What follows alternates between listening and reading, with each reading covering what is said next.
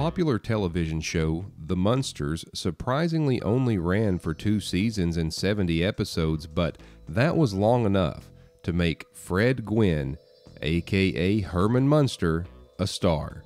The show, which featured a macabre take on suburban life, follows the antics of the Munster family.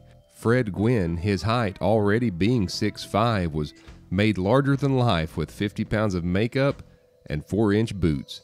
Fred Gwynne, known for a wonderful sense of humor, would be quoted as to saying, I love old Herman Munster. As much as I try not to, I can't stop liking that fellow. The downside of this role, it would lead to Gwynne being typecast. He did, however, have other successful roles, such as Judd Crandall in the movie adaptation of Pet Sematary. Fred Gwynne was a native New Yorker, so let's just go ahead and ask the question now. How did Fred Gwynne end up in an unmarked grave in Finksburg, Maryland, at the Sandy Mount United Methodist Church Cemetery? Gwynne moved in the later years of his life to a farmhouse in Taneytown, Maryland.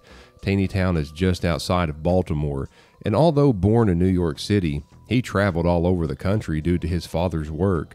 Upon graduation of school, he joined the United States Navy. He chased his dreams of becoming a Broadway star and found himself back in New York City. He landed a role quickly. He found himself on television, and a short time later, he met Al Lewis, Grandpa Munster. As they say, the rest is history. At the end of his life, with declining health, he was diagnosed with pancreatic cancer. He succumbed to the disease in 1993. Gwynne would be laid to rest in the previously mentioned Sandy Mount United Methodist Church Cemetery, and to this day, nearly 30 years after his passing, he has no stone or marker of any sort. While the cemetery explorer inside of me finds this sad, it's really not a sad story. It appears that the decision was made by Gwynne and his family. He simply didn't want one. So, whatever his reasoning, it was his decision and apparently his wishes were respected.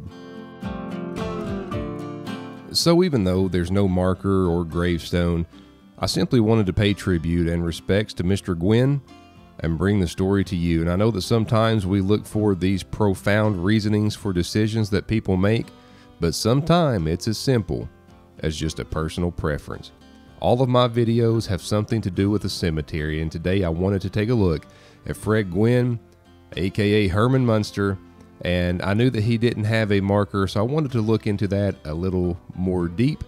And just turns out, apparently, he just didn't want one. So, you know, if that's his wishes, uh, that's his wishes. So, join me. Please like and subscribe. I would love to hear your comments if you were a fan of the Munsters or Mr. Gwynne. I would love to hear that.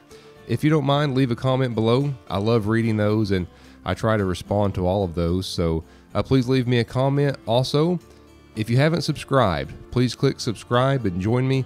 All of my videos have something to do with the cemetery, so if you like cemetery content, you know that is what you are going to get from me.